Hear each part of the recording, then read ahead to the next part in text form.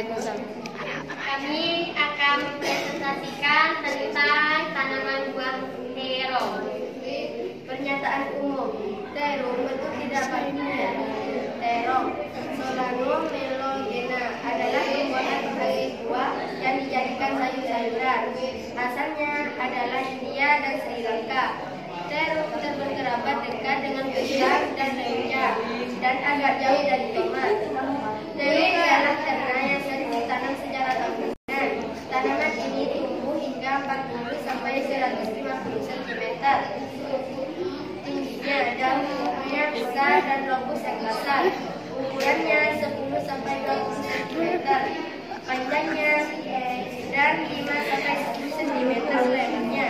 Jenis-jenis setengahnya lebih besar dan tumbuh hingga setinggi 225 cm dengan daun yang melebihi 30 cm dan 15 cm panjangnya. Batangnya biasanya berduri. Warna bunganya antara putih hingga ungu dengan mahkota yang memiliki lima lokus.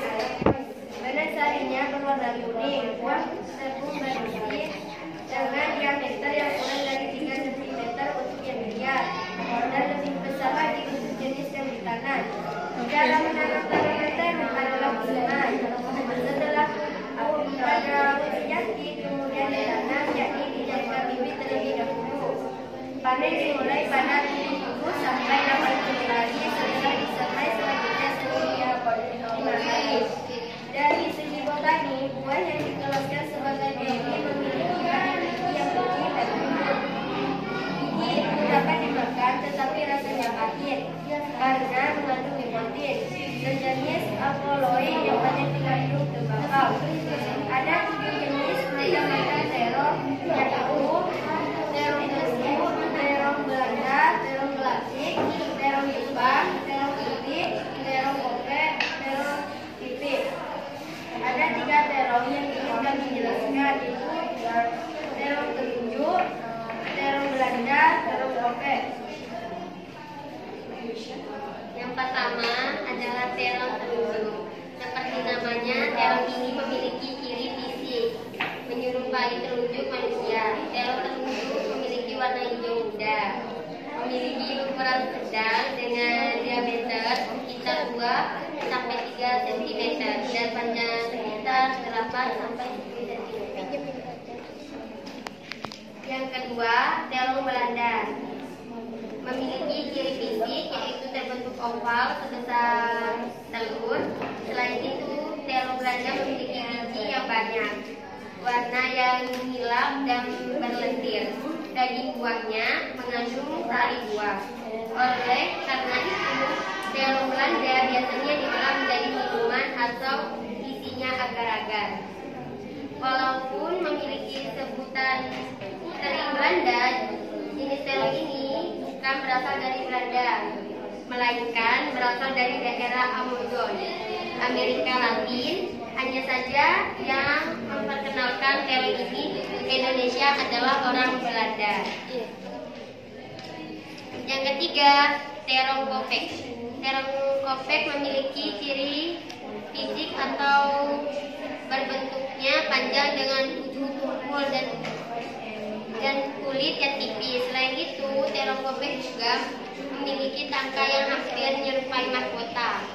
Ada ada dua jenis terong kopek selain salah satunya berwarna hijau.